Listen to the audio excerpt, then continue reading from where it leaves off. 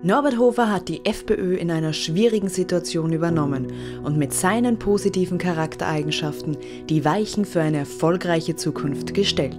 Zu seinem Geburtstag wollen wir ihm heute Danke sagen. Liebe Freunde, wir sind wieder da und wir sind voll da.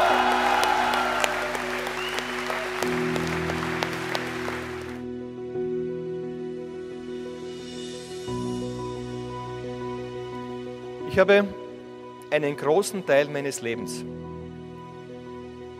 dieser Partei gewidmet.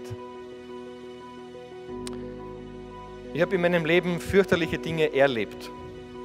Ihr kennt meine Lebensgeschichte. Und für mich war es nach diesem Unfall so wichtig, aus dem Rollstuhl raus nur ja wieder schnell wieder ins Büro zu kommen. Die burgenischen Freunde können sich erinnern.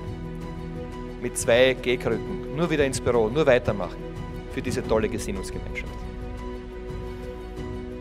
Und ich bin bereit, mit euch durch dick und dünn zu gehen.